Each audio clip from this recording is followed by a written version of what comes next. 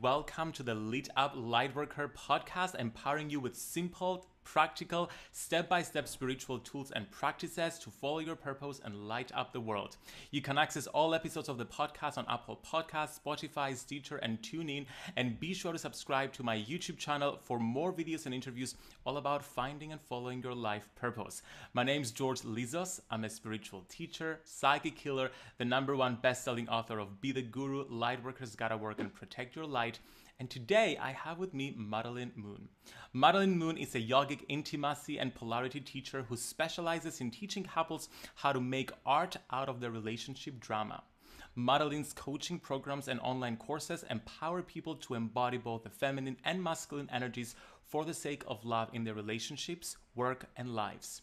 Her work and story has been featured in hundreds of podcasts as well as various publications such as BBC, The Huffington Post, Teen Vogue, Thought Catalog, Nylon Magazine, The Daily Mail, Vice, Greatist, Men's Health, People, and ABC News Nightline.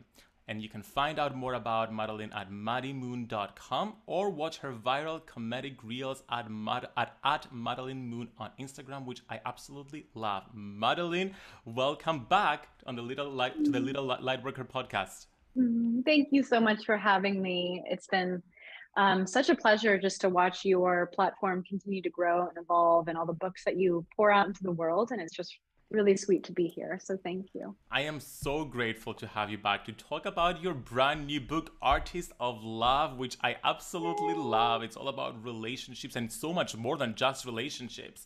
And I'm so excited to dive in while I was like planning for this uh, chat today. I'm like, oh my God, I have so many relationship questions I want to bring into it. So I'm going to make this quite personal and just share from my own experience mm. and ask questions that I really want to know the answers of that I also think people will benefit from. So before we get started, I want to hear a little bit about your journey of writing Artists of Love and being in the space where you want to teach about that. Mm. Wow, thanks for that question. I haven't actually been asked about the journey of writing this book yet, and it's been one. It's been quite a journey. Um, I've been working on a book that wanted to come through for about, I would say, I mean, really my whole life. I've been writing my whole life, waiting for like the book to come through. And in the past four years, I would say, I've done all these different angles of writing the same kind of thing. I worked on screenplays, I worked on a novel, and then finally I worked on a version of a nonfiction book that then shape shifted into this book. So this book has had probably five different evolutions of shapeshifting into finally coming into being artist of love.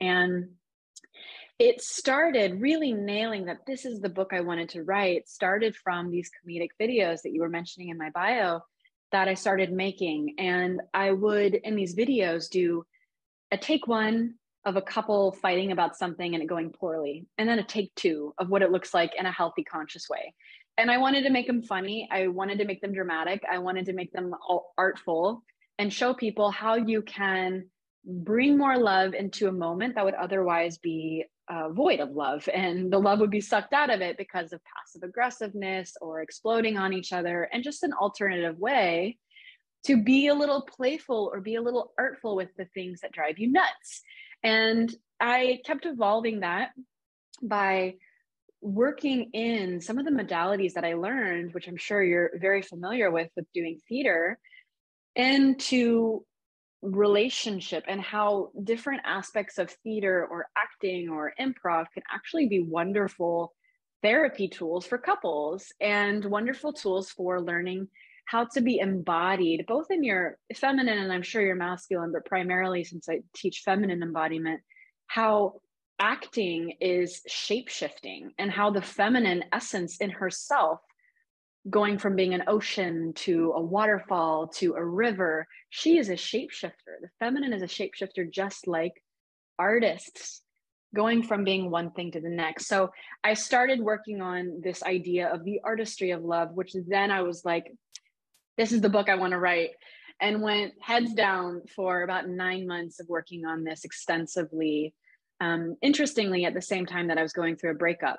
So it was a very wild experience to write about here's how you be an artist in love as I was also moving through grief, but it was perfect and exactly how the book wanted to be written.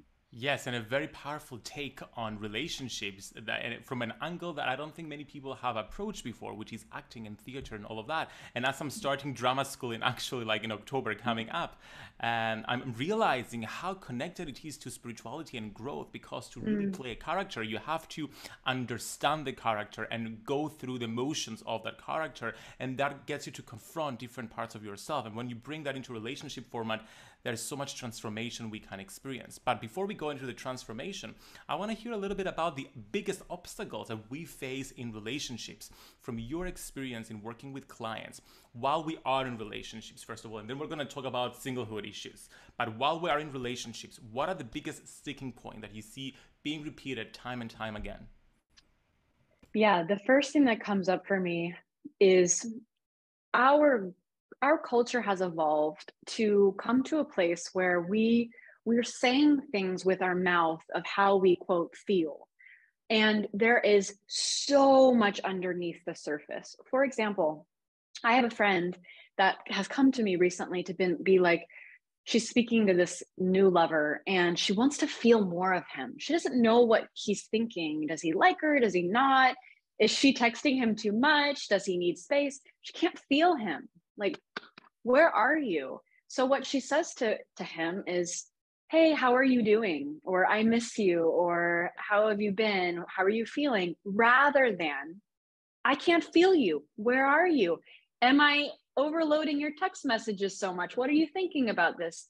The actual questions and the actual things that girlfriends or guy friends go to each other to talk about like in the very literal things they say of like you know she's this way with me and i don't know that's the stuff we need to bring directly to our beloveds. Right there, that raw truth of, I feel crazy with jealousy. And, you know, instead of a woman telling her partner that she's feeling jealous all the time and it's wild and uncontrollable and makes her feel a little nervous, she says instead, Why are you talking to Samantha?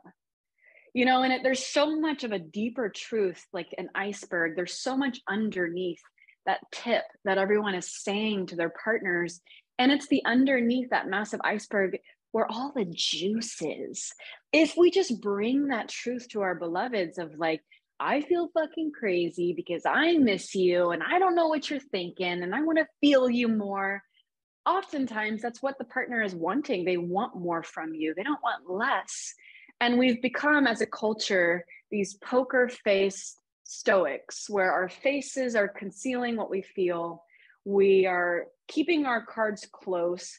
We're, we're making sure our heart is not on our sleeve because that would be embarrassing or crazy or whatever stories we've created. So we hold back at speaking what's really coming through.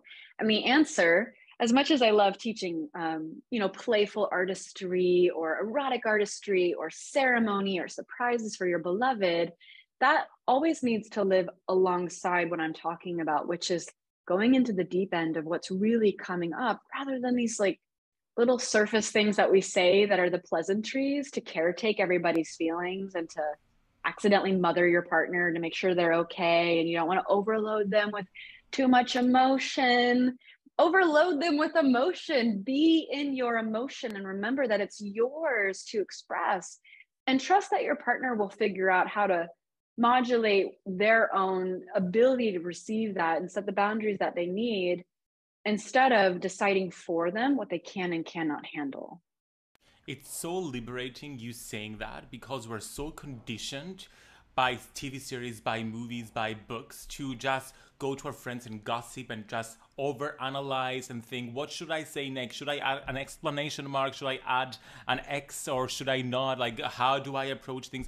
Rather than just being honest with our partner and saying the raw truth i feel there's mm-hmm. something so liberating than saying the blunt honest truth about how we feel to someone. I remember when i was going through a relationship situation a few years ago and i, I, I would do that because i really can't hold things in and i don't like the games of like texting etc and I would be totally honest. My friends would be like, "Are you crazy? Like you shouldn't do that, you're destroying the relationship because we're so conditioned. So mm-hmm. thank you mm-hmm. for writing that and expressing that so powerfully. And I think it's a radical statement that I think revolutionizes uh, the way we do relationships. For so many years, we're used to like the millionaire matchmaker, the rules, you have to do certain things like following all these different guidelines. So it's refreshing to hear something so honest. The, did you say Millionaire Matchmaker, like the show? Yes, the show, because I used to watch that and, and, and then I realized how limited I was. I have to tell you, that has been one of my favorite shows for the longest. Patty, the host of that, has for whatever reason just been like this idol to me. Like one day I know I have to meet Patty, even though everything you're saying is so true. I'm like, this is so ridiculous and so not what I teach. It's like I always loved her so much. But yeah you know like the other the other day i had one of those question boxes on my instagram where i'm like what do you want to know? And someone said how do i tell my partner that i need space? Hmm. and i gave like i don't remember the exact three examples but three different ways you can say it. And what will happen in a situation like that if a if a partner is feeling like oh they're crowding me they're one wanting too much time with me the normal go-to responses is not say anything because you don't want to hurt their feelings and make them feel like too much and so when you don't say anything, a tumor of resentment starts to build within the partnership that's taking up space between you two.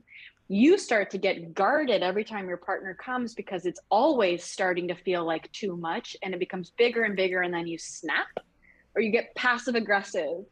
And the answer to all of that, to that tumor building between y'all, to the resentment, to the frustration, is actually knowing that your truth it could hurt his feelings, but let him have that experience of his feelings being hurt. That's okay. He will move through that, but it's better to be honest and say, My love, I love spending time with you. And I also love missing you. And we spend so much time together. I don't get to miss you anymore. I'm going to take two nights to book a room down downtown at the hotel. I'm going to have me time and I'm going to come back and I want to ravish you and you ravish me. So you you find a way to say I love you I'm I want to miss you and I'm going to be responsible for what I need to do rather than kick him out. Say I'm going to go have a little me time and I'll come back and then I want to come together with you. That fixes everything. You get your time, you tell your partner with love that you need space, but then you're actually setting your partnership up for so much success in the long term by being honest and truthful about what you need and I think that's part of the artistry is being really in tune with what you're needing and what the moment itself, what love itself is asking for the health of the whole partnership. Yes, because it's honest, but at the same time, the artistry has to do with communicating in a way that's empathetic and assertive mm-hmm. because right. you're respecting both your feelings and your partner's feelings. Which brings me to the question of, and I think this is my biggest question in relationships, and I think many people deal with it. How do you find the balance between falling into codependency and being obsessed with your partner and needing love versus independency being completely aloof. How, what is the midpoint? I've heard terms mm. such as self-dependency and interdependency and neither has completely felt true. What is your truth there? Oh wow that's a great question. So i don't have any term any scientific or relational term for what it is but it's a feeling and it's a feeling that i think you know, I once heard, um, don't don't just fall in love, commit to love. And I mm. thought that was mm. that kind of summarizes what you're asking of me because there's a commitment to continuously meeting the relationship day after day after day after day. I am very much not of the opinion that you shouldn't rely on your partner. I think that's bogus. I think the whole point, like on a very root chakra primal level, of two people coming together under one roof is to make life outside easier because of what you do inside. That's the primal base level reason of being in partnership is that you come you live together so that everything that happens outside your home is so much easier. If you're not actually coming together in that very primal basic way of like let's each pay the bills together. Let's be an emotional support system together. Let's take turns taking the dog out for a walk. You're missing out on a very big primal, remember, primal piece of the reason we come together. So there needs to be that as a foundation of knowing you have each other. at the same time that there is a remembering that each of you have your own systems. You have different systems. You may have, we can look at systems in so many ways, like in the Enneagram, you may have a four and an eight. Or in human design, you can have a projector and a manifester, or you could have um, an introvert and an extrovert. And all of these things, including trauma, this person's trauma and that person's trauma, creates two different systems that are meeting together to create something new. So, knowing that you're here to rely on each other and also knowing that you're just vastly different people, that equals giving grace and space to you finding what, what the things are that you can't ask of each other. Because there's certain things, like for example, you fall in love with someone who has a terrible memory and they forget appointments and they forget holidays, well, you fell in love with them, but maybe it would be actually quite abusive to make this person who has a terrible rem- memory remember everything because that's not their system. That's not how they're built. So there's certain places where we actually have to learn how to be agile and compassionate and stop trying to make our partners excel in the areas that biologically they don't excel in a lot of people that I've dated have not quite fully understand the depth of emotion that I have access to because I've dated men with masculine emotional bodies. I'm a feminine woman with a feminine emotional body. So to try to make a man that I'm with who has a masculine emotional body to understand the agony that I experienced, but all these different things, it's not how he, those people of my past, may be built but they're built in this area and this area and this area. So each partner is very different and it's important it's a part of the ecosystem of the partnership to be like these are the places we agree to go all in together these are each of our specific areas that it's just the way we are and we can't try to force each other to change now are we okay with that can we make this whole relationship work knowing this part and this part and this part can I be my own sense of uh, can I be the be- the strongest person with a calendar, you know, and you not be great with appointments? Can I live with that? That I'm going to be the person who does that in the partnership, and that's the kindest thing to do is to not expect our partners to be everything, but to commit to the love, to commit to doing the work. I got a powerful visual while you were explaining this that uh, it's the perfect answer. It's a Venn diagram. Well, you have two different entities and then they mm-hmm. come together and then part of them is is that union, which is a new entity, but at the same mm-hmm. time you still have these two different parts that it's their own person. So they can exist as different entities, separate entities, but at the same time they share a new entity that they created together. What a beautiful way to to think about it.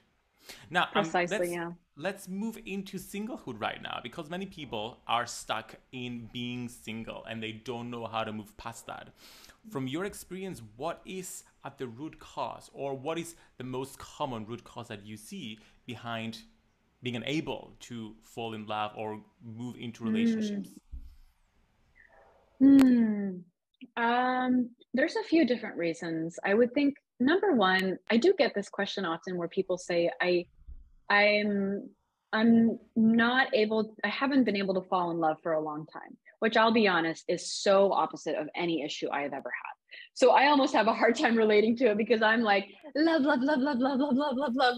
That's why I'm here. It's all I want to do is love love love. So there's a you know there's a, a piece of me that is speaking to this as an outsider, not having too much understanding of what that must feel like. But there's a there's one thing that always comes up for me is can you be okay with this in this moment? Can you be okay without making yourself wrong for not having fallen in love or not being with your partner? I think you know that's one of the most basic fundamental pieces of tantra is can you be a yes to what's coming up and knowing that god lives here? So you're not broken nothing's wrong with you times are changing we don't need each other as much as we used to anymore so there is that that exists as a foundation of there's nothing wrong. And if you are craving partnership, if you're interested in partnership or you're wanting, there are a few pieces that are important to begin to look at for people who are, I guess, chronically single. And that would be some of those stories that have cultivated in your body since childhood, since what you witnessed from watching your mom and your dad. Like a classic example I see oftentimes is that someone was raised with a parent you know again since i work primarily with women it's it's a female client who was raised with a mom who uh, consistently was let down by all the men she brought into her life like man after man after man and those men either were abusive or they didn't like do shit or they uh, kind of screwed over the mom and so the little girl grows up and she's like i'm never gonna let someone in. I'm never going to depend on a man. So they become a little bit, they become highly self sufficient. They don't need anybody. They've got some stories that have been created around what it means to need men, you know, AKA you're weak like mommy. And so there are stories that create, I, I say the shapes that we take. So we take certain shapes yogically with our body. We walk around with our stories. We walk around as open or we walk around as like you know new yorkers or we walk around as um, you know sexual like there's certain ways that we live and inhabit in our bodies that send out messages of these are my beliefs and so if you were raised as someone who grew up not to ever want to depend on someone you're probably holding in your body this tension this closing off there's not much breath in your belly your jaw might be tight you don't want too much attention to be focused on you so I always start with the body instead of the beliefs, instead of being like, trust men again, trust that you can be in love. I start with the body. Can you at least breathe more into your belly? Can you relax your shoulders back? Can you walk through the grocery store as she who is ready to be seen? Doesn't mean ready to be taken out, but someone who is ready to at least be seen. One next layer, she who is seen and i write about that throughout the book of creating these um, like stage names stage names and then embodying that as you go from the store to the movie theater and dressing as that person you want to be so if you're wanting to attract a mate who is kingly she who attracts kings how does that person walk? How does that person breathe or make eye contact or dress her body? You don't have to change the stories yet. Change the body first, breathe through the body in a different way. And then those stories start to break up and you start to see things shift in your life and people start to come in. And then you go to, on to the next step, which is receiving people in to actually come into your life.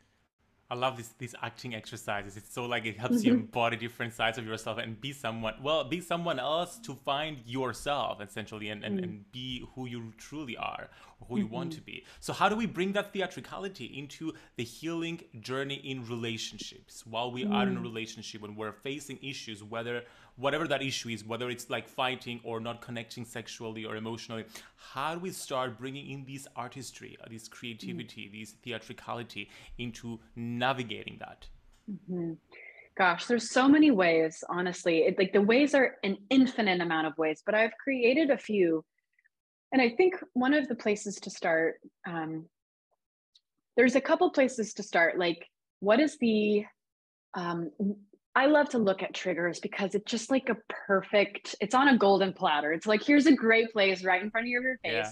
that's ready to have art potential. So there may be a certain thing that triggers you in your partnership or in your, you know, in your life that you can create artistry around in comedic ways, kind of playing, tussling emotionally with your partner, being sassy, being sassy, being bad there are ways you can be erotic. So you can actually like create, do an erotic dance in your favorite, like erotic clothing for your beloved as you whisper something in his ear, like something maybe a little bit dark or maybe a little, a little bit risque that has to do with the trigger, like nibbling on his ear saying, You better pick up your fucking socks, baby. As you dance and straddle him. I love so that. You're like bringing in both at the same time. You're gifting, you're gifting your body, your heart, your you're opening and you're giving a very real message. So there's artistic ways you can bring your sex energy into it. And then there is one of my most favorite ways that I consider to be incredibly artistic and incredibly deep is what I was speaking about earlier that raw truth, that deep raw truth, which is what, which is instead of no, I'm fine, where when you're asked, Are you okay? You say, No, I'm fine. Instead, you realize, I'm actually not fine. My heart is breaking into a million pieces, even if it's a small thing like my partner never brings me morning coffee or he keeps over burning my toast in in worlds that aren't the world i live in i can understand how that would be crazy to like feel heartbroken that your partner consistently doesn't bring you morning coffee or burns your toast but to someone who's a feminine being those things really affect you and like it's kind of like it's like sex ending too early or like jarringly like sex jarringly ending and your heart wasn't held and you feel dropped it's like that pain of being dropped in sex really fast and really jarringly, like having a conversation ending really quickly, the feeling of that can be found in coffee never being delivered to you. And there's actually something so beautiful about a person that's willing to just start crying in a moment because something affects them so deeply and just be like, ah, like I just want you to bring me coffee and love me and and kind of over dramatize that raw truth.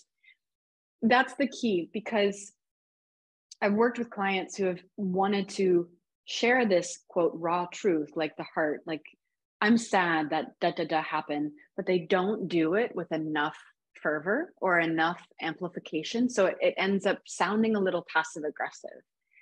The jaw is closed, their shoulder is turned, and it's I'm mad that you're not doing da da da. It doesn't feel like it's the raw, open heart truth so it's a very simple switch. Just bring your shoulders to face your beloved, open them up, and put your hands to your side and say, ouch, ouch. And if emotion comes, let it come. And don't fill the silence with talking. I'm upset because you did this thing and you never do that. And letting the stories roll through. What's most artistic is to actually just reveal your feelings about something, about your partner looking at an, another person with big breasts and you saw it and it hurts you, can you just open your chest and let your partner see the pain that's coming through? That is artistry.